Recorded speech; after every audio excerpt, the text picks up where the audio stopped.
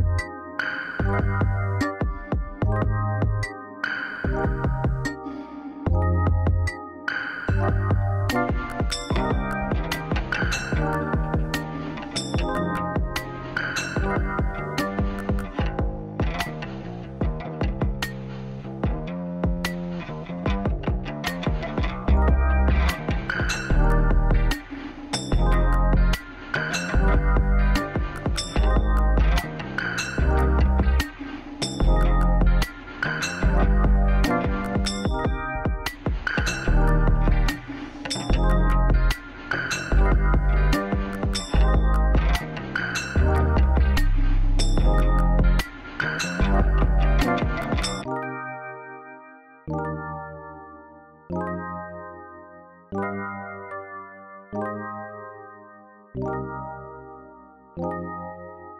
you.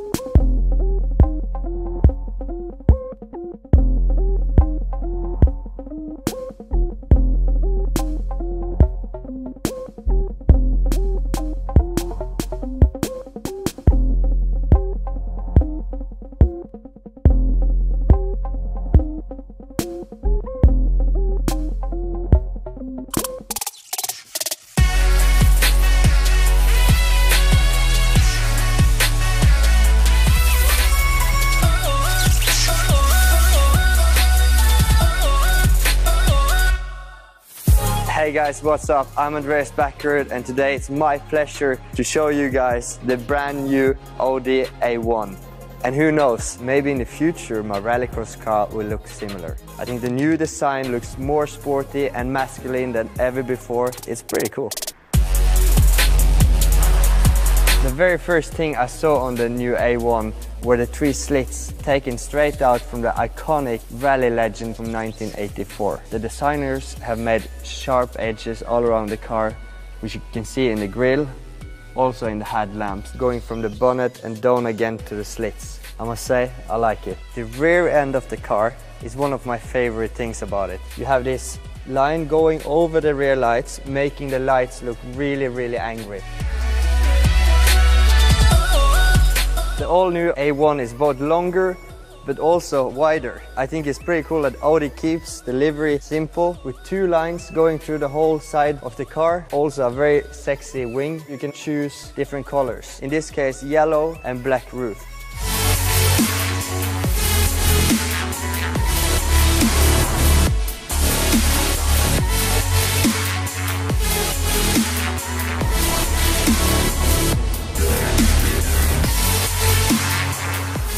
First thing I see when I jump in the car is that I bring the sportiness also into the cockpit together with me. A lots of colors, cool dashboard, sporty dashboard, and my favorite thing, the F1 gearing. Handbrake, so that even I can do download with it.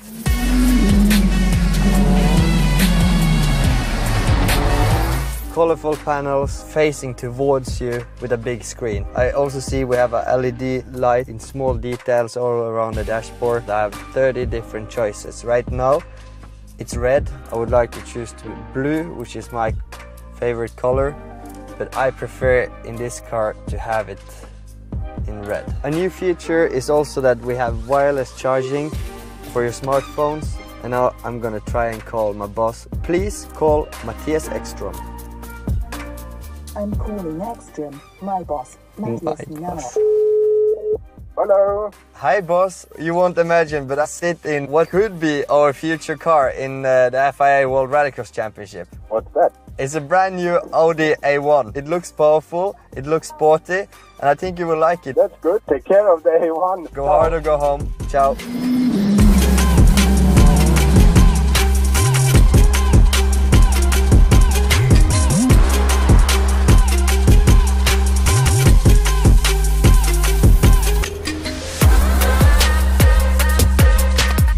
180 tall, more than enough room. But I'm not a backseat driver, I'll leave you to it. I think it's pretty cool that Audi goes 34 years back in time and brings back alive different car elements. It looks sporty, almost like a race car, just almost.